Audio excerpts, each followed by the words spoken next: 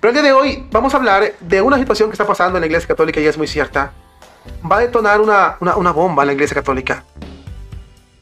¿Por qué? Porque apenas estamos empezando con esto.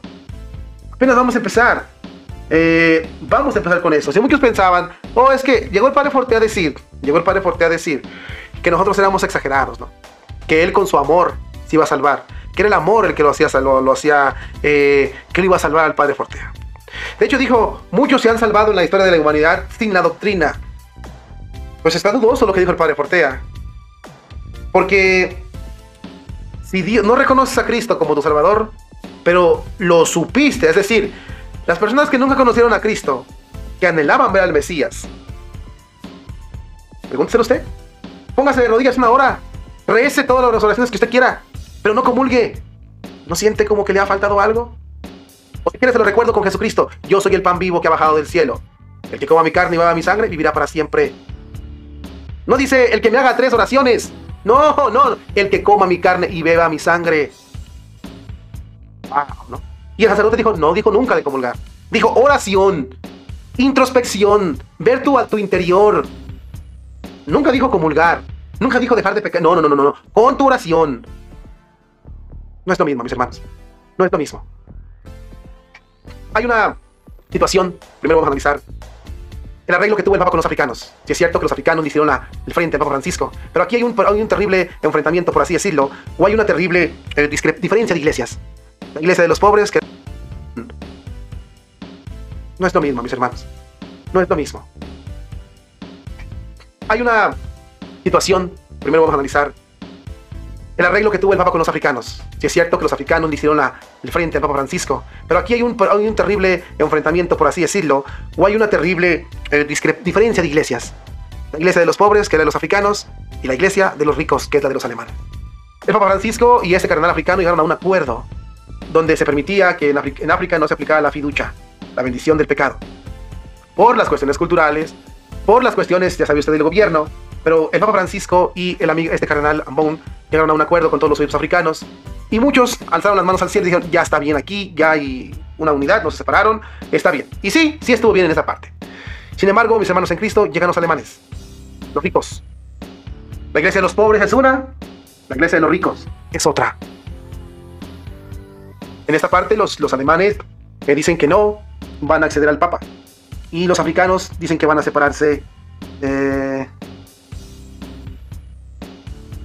Los alemanes dicen que no lo van a obedecer. Los africanos, los africanos dicen que, pues por su cultura no pueden aplicar lo que el Papa dice. Hay una discrepancia brutal. ¿Por qué? Porque lo que muchos no han notado, es lo que dijo el Padre Santiago ayer en esa parte, las dos iglesias se hacen visibles, las dos iglesias. Por un lado tenemos a los pobres, que el mismo Tucho, fíjese bien, y el Papa también, el mismo Tucho también, los tachan como de retrógradas, los más retrasados, los más eh, pobres. Vamos a verlo por aquí, una parte muy importante de este artículo para todos ustedes, de este, este artículo, donde el, Papa y el amigo Tucho dicen que son los más, sí, los más retrasados, los menos superados, los menos, los, sí, los más, dice atrasados. Estamos muy, estamos muy atrasados y esta gente no entendería eh, la evolución que ha tenido la cultura, según ellos, y la evolución que ha tenido para que se pueda aceptar eh, las prácticas de Sodoma y Gomorra. Eh, aquí, nos guste o no nos guste, el amigo Tucho y el Papa han distinguido perfectamente las dos iglesias. Una iglesia, ¿cómo, ¿cómo cree usted que lo llamarían? A un sacerdote, ¿cómo lo llaman a un sacerdote que no quiere entender que fornicar entre dos hombres está bien? O que Dios lo quiere. Retrógrada, rígido, antiguo, retrasado, cavernícola. ¿Y cómo llaman a un sacerdote que dice, no, como James Martin, está muy bien, yo, yo creo que estoy de acuerdo, yo creo que... Eh, ¿Cómo lo llaman? moderno, actualizado, avanzado, a la moda. Bueno, lo que yo le quiero enseñar aquí es que aquí hay dos iglesias ya muy marcaditas. El Padre Santiago naturalmente lo dice, una iglesia a baja velocidad y una iglesia a alta velocidad, pero son dos iglesias opuestas. Los ricos, que son los alemanes, el mundo secularizado, avanzado, es el, progresista, supuestamente, y la iglesia pobre, la iglesia triste, la iglesia que sufre, la iglesia que tiene terribles dificultades como los, los africanos, son la retrógrada Porque esta no admite eso porque dice es que no es, en nuestro pueblo, en nuestro pueblo esto no, no, no, no se puede aplicar. Pero aquí viene una pregunta muy interesante. ¿Y en nuestro pueblo sí? Fíjate bien, sin que el Papa quisiera, dividió las dos iglesias ya. A ver, en el pueblo africano, en la cultura africana, en las familias africanas, no se puede aplicar el pecado, pero acá sí.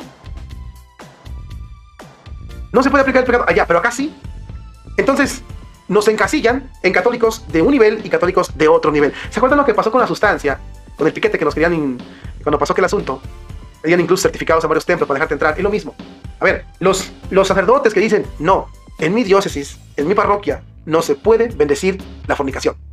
Y otro sacerdote dice, no, en mi parroquia, en mi diócesis, sí se puede bendecir la fornicación. Y entonces dice el Papa, es que este sacerdote que sí bendice es de un nivel más desarrollado. Es que el sacerdote que no bendice se quedó allá en la era de las cavernas. Ese no, por eso no bendice. La pregunta que yo te quiero hacer y la reflexión es que, ¿cuándo, cuándo se le permitió al católico fornicar? ¿Cuándo o en qué momento se dice al católico, tú sí puedes fornicar? Tú sí puedes vivir con la fornicación en tu casa. Y ya no es pecado. Cualquier persona te puede decir, no, es que si es pecado. No te engañes, ya no es pecado. Para ellos, pues, no para Dios, para ellos. ¿Cuándo se te hizo a ti ver eh, que ya no es pecado? Por ejemplo, un cerdito, un cerdito se come su comida sucia. De hecho, la ensucia para podérsela comer. Un caballo no ensucia la comida. Si está sucia, no se la come. No se la come, está sucia y no se la va a comer. ¿En qué momento el católico dijo, los avanzados, en qué momento se nos incrustó en la mente eso de decir, bueno, ah, caray, es que antes no se fornicaba y si se fornicaba era pecado, ahora ya, ya, está bien, ya es normal, es normal. De hecho, usted no puede escuchar eso en, el, en el mundo donde usted se desarrolla, donde dicen, es que eso ya se usa, es que así se usa, es que ya es normal. ¿Cuándo? ¿Cuándo pasó de ser pecado a ser normal? ¿Y qué es normal? ¿El pecado es normal? Esto es una bomba que va a explotar en una hora u otra. Muchos católicos se van a empezar a sentir así como que me voy a hacer para donde me convenga. Esto marca un cisma, mis hermanos. Un cisma que ya está. Por mucho que lo digan, es que los africanos dijeron que no. No nomás son los africanos, también hay, obispos de Europa que dicen que no. Y obispos de Europa que dicen, yo no voy a aplicar esto. Los alemanes están... Fíjate, los alemanes, por ejemplo, los alemanes son los ricos. Los alemanes nunca se les prohibió nada. Nada con cartitas, con palabras sí, pero ellos siempre siguieron bendiciendo. Esto que están haciendo apenas, ya tienen tiempo bendiciendo. Los alemanes ya formaron un grupo de laicos que están metiendo la mano con poder en las iglesias. El Papa no los va a frenar, no los puede frenar. Ya lo dijo el presidente de los laicos, el Papa tuvo la culpa. Él los metió al sínodo. Y si en el sínodo votan los laicos, ¿por qué en las conferencias episcopales y en las iglesias parroquiales no pueden votar los laicos? Hay una contradicción para el Papa. El Papa estaría contradiciendo a ti mismo, cosa que sí lo hace, pero es una realidad. ¿Van a quitar a los alemanes? No. Van a quitar a todo. Ahora, eso que digan, en los templos no se va a aplicar la fiducia, ¿quién se los cree? ¿Quién se los cree? Si lo hacían antes, cuando supuestamente no se permitía, ya lo hacían, ¿usted cree que lo dejen de hacer ahorita?